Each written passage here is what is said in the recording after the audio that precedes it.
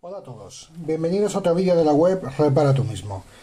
Este vídeo está dedicado a la medida de amperios tanto en corriente alterna como corriente continua. Para la medida de amperios lo normal es que utilicemos una pinza amperimétrica ya que es lo más seguro, eh, más o menos preciso y con menos riesgo para el circuito y sobre todo para el aparato. La pinza de, para medir amperios tanto mide las últimas o las más nuevas, miden en corriente continua como en corriente alterna.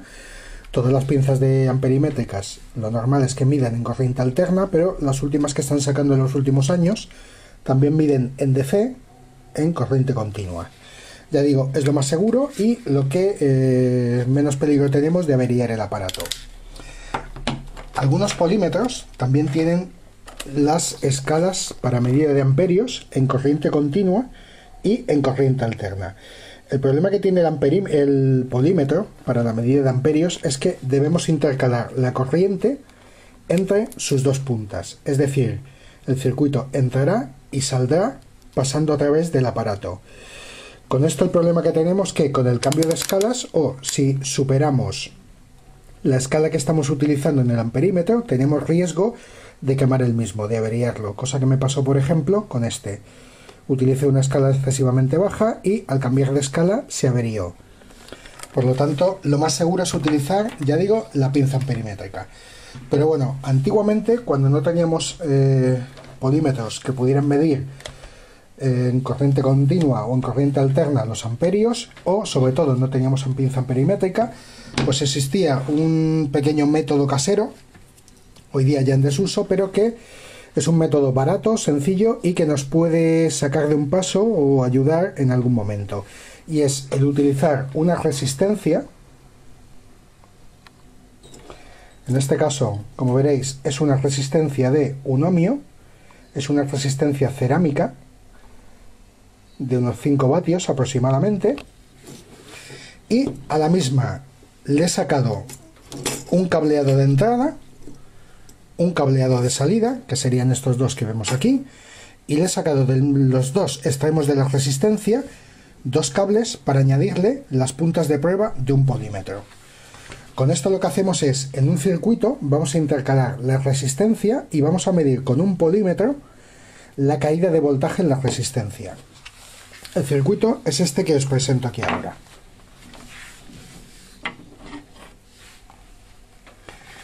Para la medida de amperios con una resistencia, por ejemplo, vamos a hacer primero en voltaje en corriente alterna, en AC, tanto por ejemplo para España 220 voltios como para otros países 110 voltios. Es una consulta que me hacéis muchas veces. Se diferencia con el voltaje de otros países, no la hay. Únicamente que para cada país debemos enchufar pues la bombilla o el aparato acorde al voltaje del país. Tenemos el enchufe de entrada, uno de los cableados y ese cableado le hemos intercalado una resistencia con un disipador de calor. La resistencia es de 1 ohmio y 5 vatios. En paralelo con ella ponemos un voltímetro que mide en corriente alterna y tenemos una bombilla conectada a la salida. Siguiendo la ley de Ohm, que nos dice que resistencia es igual a voltaje partido por intensidad, si nosotros aplicamos un ohmio, tendremos que para un voltio consumirá un amperio, por lo tanto, para un amperio de caída o de paso por el circuito tendremos un voltaje en la resistencia de un ohmio. Según las pruebas que he estado haciendo, no podéis sobrepasar, por ejemplo, los 5 amperios en corriente alterna, ya que la resistencia se calienta muchísimo, a pesar de tener el disipador, y corremos el riesgo de quemar la misma. Por ejemplo, he conectado una plancha de ropa que consume de 9 a 10 amperios y la resistencia ha estado a punto de, cortarse, de quemarse. Un ejemplo que por ejemplo he utilizado ha sido el de una lámpara de bajo consumo, consumía 0,08 amperios con la pinza amperimétrica medidos y la misma lámpara medida con el polímetro en la resistencia daba 0,066. Tenemos un desfase aproximado de un 15%. Por lo tanto, a la medida que midamos con el polímetro en las puntas de la resistencia debemos sumarle un 15%. Esto es debido a que la ley de Ohm se calculó inicialmente para corriente continua, para pilas, baterías y eh, voltaje en continua. Para voltaje en alterna existe un pequeño desfase Ya digo que se puede utilizar la ley de Ohm, pero eh, debemos adaptarle unos pequeños valores. Debemos eh, sumar un 15%. Pero bueno, vamos a ver cómo lo haríamos. Cogeremos el polímetro.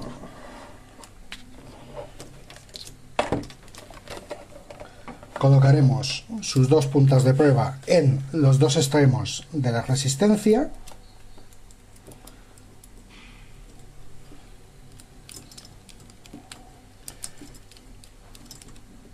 he colocado una caleta de electricista para eh, poder trabajar con mayor comodidad. Enchufaremos una lámpara. Por ejemplo.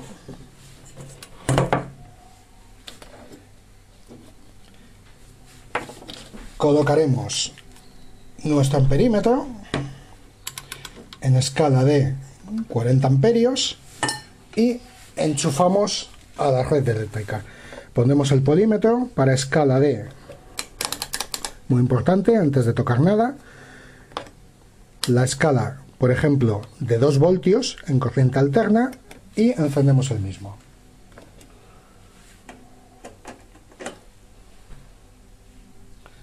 Conectamos nuestra bombilla, como veis,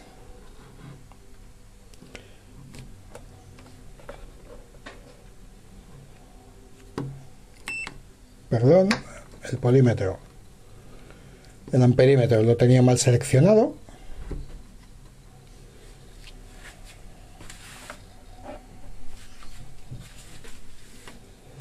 Y aquí tenemos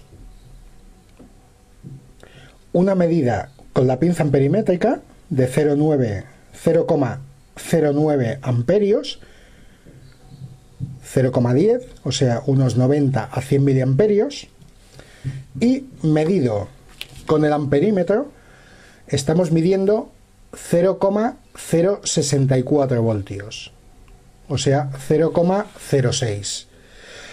Debéis tener en cuenta lo que he comentado del desfase de un 15% aproximadamente que deberíamos sumarle al amperímetro, pero bueno, para medidas cuando la medida en intensidad es un poco mayor, el desfase entre un aparato y el otro eh, se reduce de un 15 a un 10% aproximadamente. Es un método para corriente alterna que no nos da una medida completamente idéntica, la de la pinza a la del amperímetro, pero que nos puede servir para tener, si no tenemos, por ejemplo, pinza amperimétrica y no tenemos manera de medir con un polímetro en amperios en corriente continua, nos puede dar una idea aproximadamente, utilizando la escala de voltios, de qué intensidad está pasando a través del circuito. Voy a desmontar este ahora y haremos la misma prueba con corriente continua.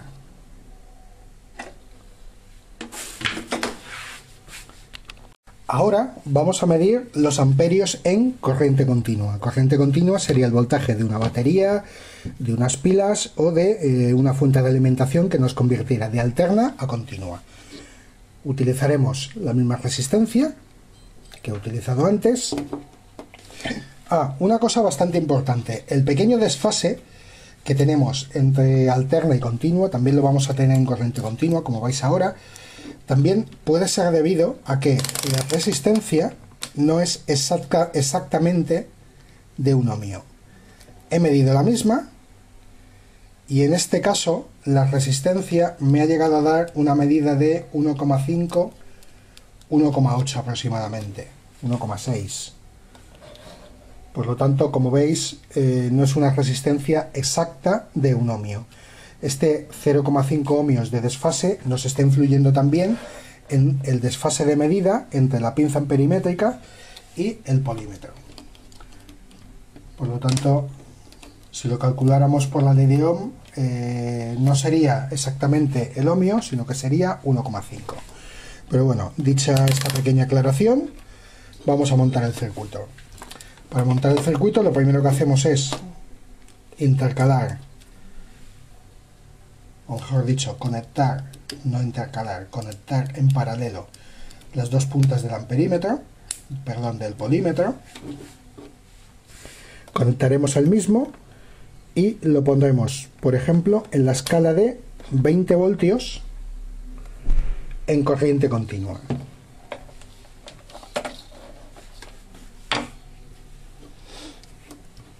Conectaremos uno de los cableados a uno de los terminales Faston de la bombilla,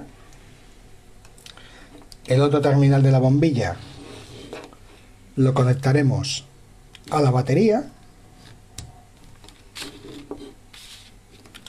y enchufaremos la misma. Pero antes de realizar la medida vamos a ver el esquema y aclararemos un poco los conceptos.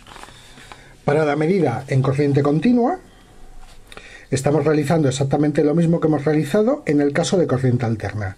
Tenemos una fuente de alimentación, positivo y negativo, lo que sería una batería en este caso de 12 voltios. En uno de los terminales de los cableados intercalamos una resistencia. En paralelo con la misma colocamos un voltímetro en DC, en corriente continua. La resistencia es de 1 ohmio, 5 vatios. Ya habéis visto que varía un poco, esta es de 1,5. Por lo tanto, eh, nos va a dar una pequeña distorsión de la medida. Continuamos con el circuito y conectamos una bombilla, en este caso he utilizado una bombilla de 12 voltios de coche, y cerramos el circuito.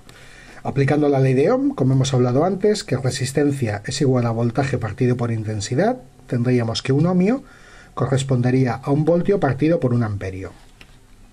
Por ejemplo, he realizado pruebas antes y he visto que, medido con el polímetro, tenía un consumo de 3,34 amperios y medido con la pinza amperimétrica, perdón, medido con la pinza amperimétrica tendría 3,19 amperios, con el polímetro 3,34.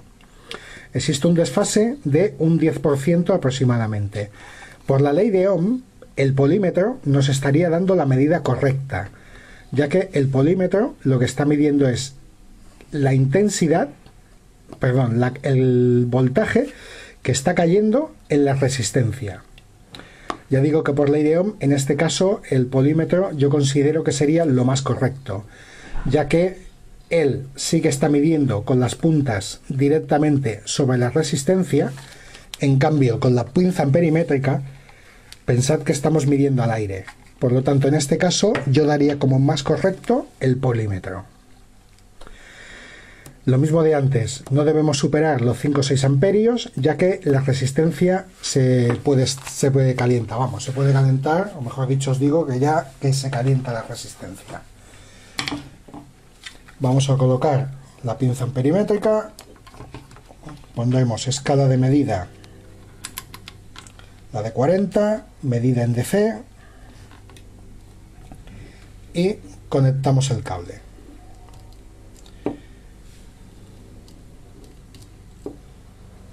Conectando el cableado tenemos, apartar un poquito la bombilla que no deslumbre, tenemos medido en la pinza amperimétrica 3,11 amperios aproximadamente y medida de caída de tensión en la resistencia 3,32.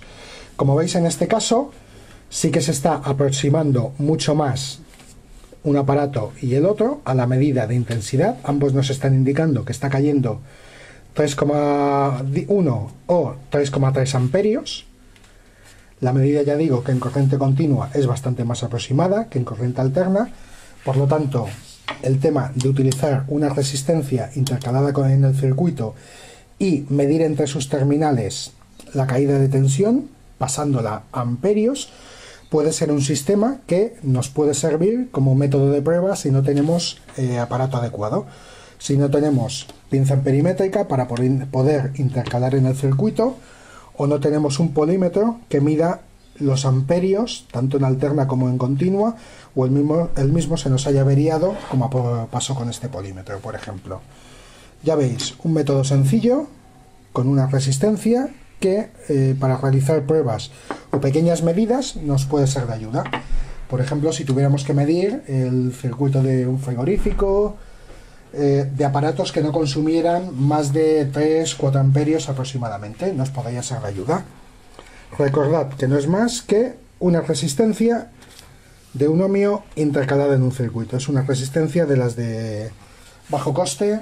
No sé lo que puede valer hoy día en la tienda aproximadamente, pero bueno, una resistencia de estas eh, posiblemente por 1,5 euros la podamos encontrar y nos puede salvar de un paso o eh, si la podemos conseguir de alguna manera nos puede ser de ayuda.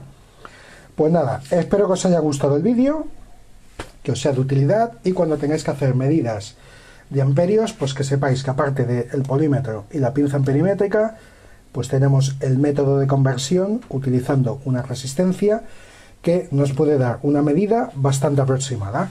Un saludo y que sigáis visitando la página web y los vídeos. Repara tú mismo.